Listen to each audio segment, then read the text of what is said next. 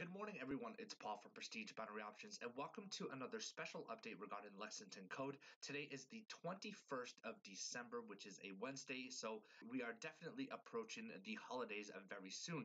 So, what I wanted to do for today is basically do a recap of the last seven days since we've been using this program. If you've been following our Prestige Binary Options channel, um, you know that we started using the software just last Wednesday, so it's been about a week. Um, and over the course of these past few days, I've done my best to keep you guys updated with several live trading sessions regarding its auto trading, its manual signals, as well as safety tips and tutorials on how to properly use this program. And so far, we've come a long way.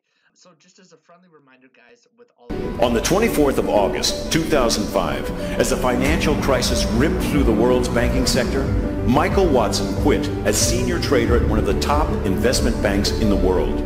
Now, after creating 100 millionaires from his 2014 Obcasio intake, he is opening the doors one last time and inviting just 100 more people into his 2016 intake to use his new and improved Obcasio software. Hello, my name is Michael Watson trades with a minimal loss of only two losses. So a great turnout, not a bad way to enter the the medium of this week as we enter the end of the trading week.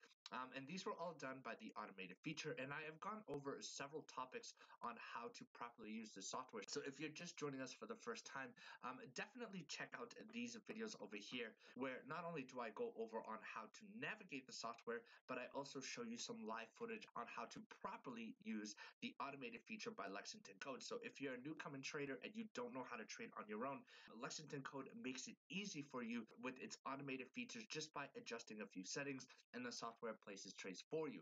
Now, within the past few days as well, we've also navigated its manual signals. So Lexington Code is not only an auto trader, but it also provides manual signals as well that you can follow. And if you are comfortable in your own skills and you want to test this out for you for yourself, definitely check out these videos where not only do I I show you how to follow these signals, but I've also created a live tutorial which is very easy to follow on how to adjust charting solutions because when you're using manual signals, it's very important to look up these charting solutions. I like to use freestockcharts.com and I know that it can be a little confusing as to how to set up certain indicators. So if you watch these videos, you'll learn exactly how to set up these charts, whether you're using freestockcharts.com